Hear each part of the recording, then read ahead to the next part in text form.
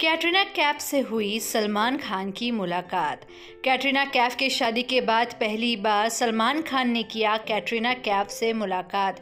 कैटरीना कैफ की शादी में नहीं आए थे सलमान खान और ना ही सोशल मीडिया पर उन्हें बेस्ट विशेस दिया था, जिसे ये साफ़ पता चल रहा था कि सलमान खान काफ़ी दुखी हैं कैटरीना कैफ की शादी से।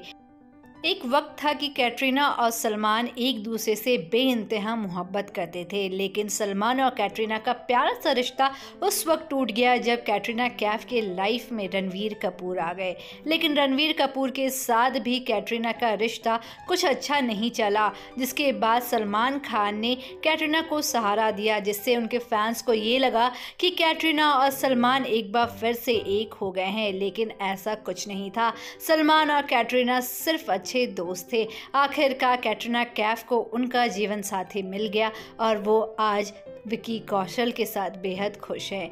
सलमान खान और कैटरीना कैफ आज एयरपोर्ट पर एक साथ नज़र आए और सलमान खान, कैटरीना कैफ, टाइगर थ्री की शूटिंग के लिए रवाना हो चुके हैं। सलमान खान के हाव भाव से तो आज भी यही लगता है कि उन्होंने बे मोहब्बत की थी कैटरीना कैफ से।